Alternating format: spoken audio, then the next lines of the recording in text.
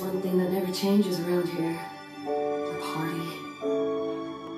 Well, I hope you'll stay. More friends are definitely merrier. But, um... My horn? You know, your horn is pretty powerful.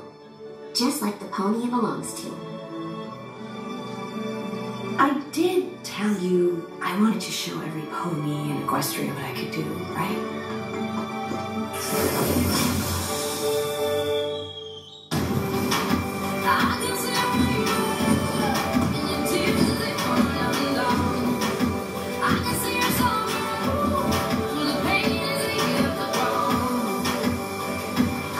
Nice touch, Tempest. Actually, that's not my real name. What is it? It's Fizzlepop Berry